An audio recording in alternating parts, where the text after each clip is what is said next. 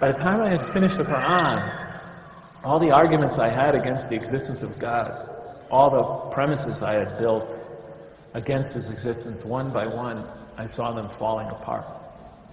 So by the time I finished the Quran, I had no more argument against the existence of God. And the Quran is written in a very interesting style.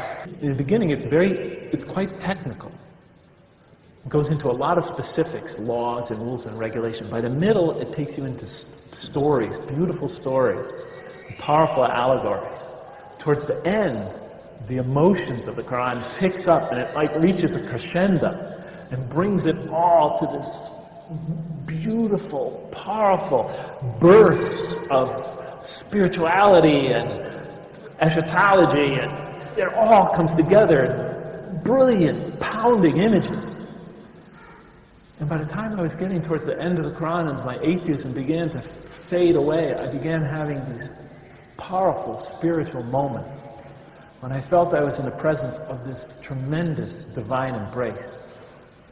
I remember reading the surah, وَالضُّحَى وَاللَّيْلِ إِذَا سَجَى مَا وَدَّعْكَ رَبُّكَ, you know.